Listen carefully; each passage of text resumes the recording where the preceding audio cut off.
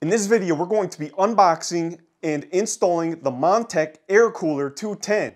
If you like videos like this, go ahead and hit the subscribe button and the notification bell because in the next video, we're going to take all the internal components that you see in this video today and we're going to be installing them into the Montech ARGB 100 Micro ATX case. So let's go ahead and move on to the unboxing of this CPU cooler.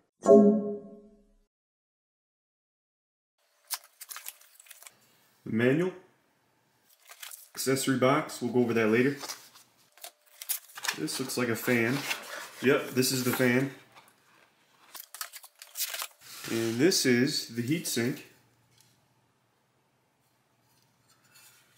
It's got a nice faceplate on the front. I kind of like that.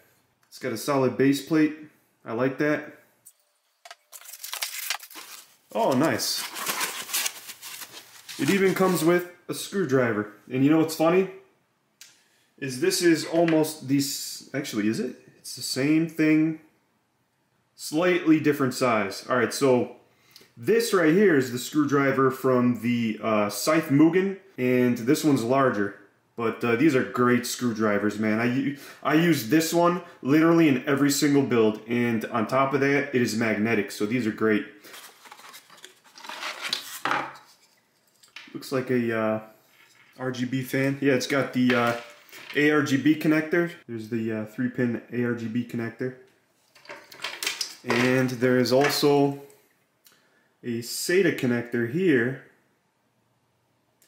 that ties into what looks to be some sort of a control for the for the fan. There's a mode button, speed button, and a light button. Connectors so the DRGB or the ARGB connector plugs into the adapter. Accessory box. So it looks like we have these screws, the spacers, the back plate, fan mounting bracket. Looks like you get a couple of applications of thermal compound and some more mounting brackets. So this is the CPU, motherboard, memory, and NVMe drive combo. We have an i5 11600K.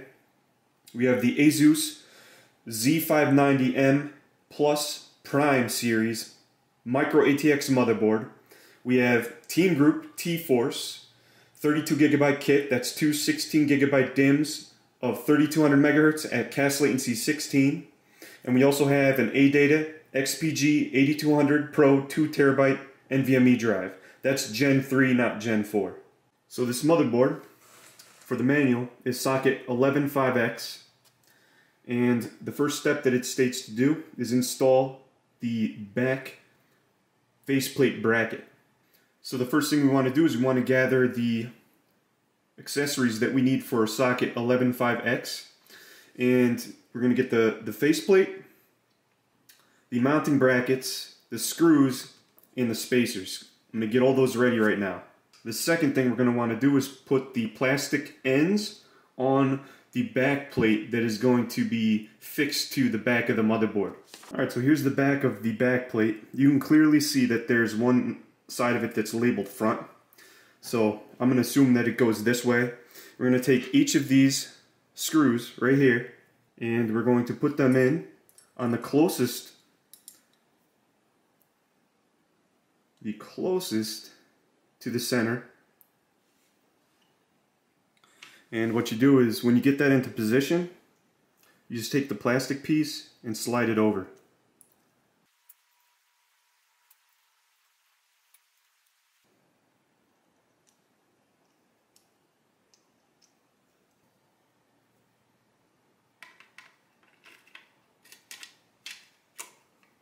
That fits in pretty darn good, look at that. Back plate is in place. Now we just put the plastic washers on.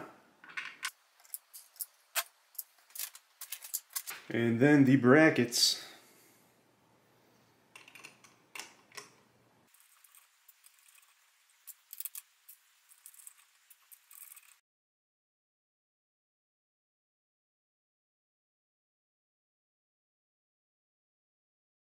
All right, now lastly, what we're gonna do is I'm gonna apply thermal compound and then we're gonna set the tower on top of the IHS. Now, because this is a solid base plate, there's no pipes on the base plate, I'm gonna go with the, uh, the pea dot method in the center of the IHS because this looks to me like it's gonna have no problem spreading over the top of the IHS.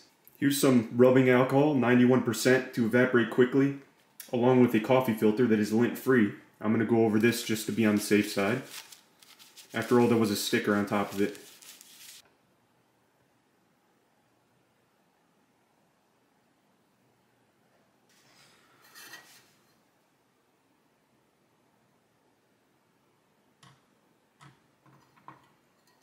So it looks like there's a little screw on the top because I don't see any other way to tighten this down on this side right here near the uh, left side of the uh, motherboard.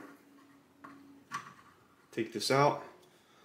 And that's the reason why they gave you this screwdriver. This screwdriver is going to allow you to get in here to tighten down one side. And you want to tighten down one side a little bit and then do the other side, rinse and repeat.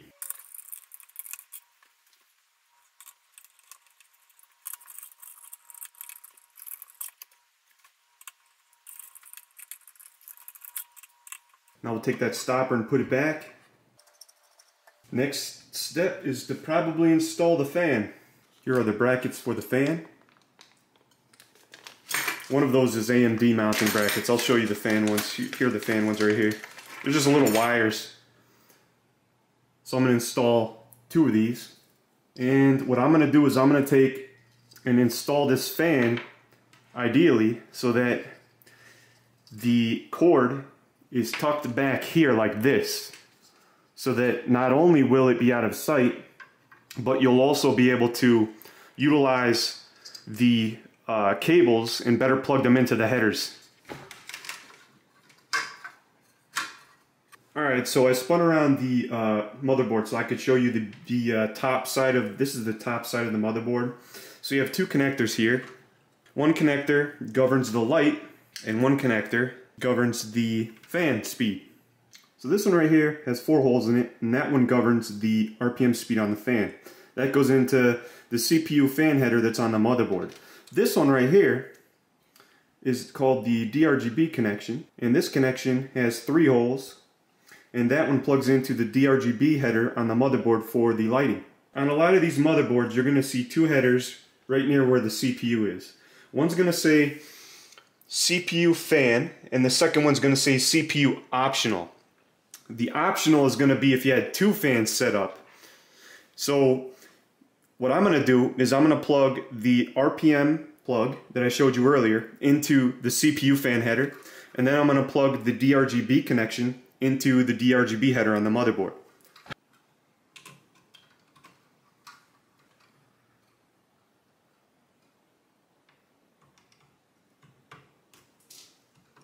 When you're done, don't forget to take off the plastic coating.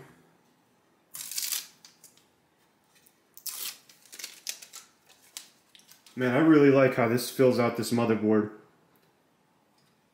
This is to look great inside the Montech case. Go ahead and like this video if you liked it. Subscribe for more. And if you like this video, you're really to like this one. So go ahead and click on this one. In the next video, we're to be installing all the internal components into the Montech ARGB 100 Micro ATX case, which is actually right here. And let me tell you, it is an amazing case. Stay tuned.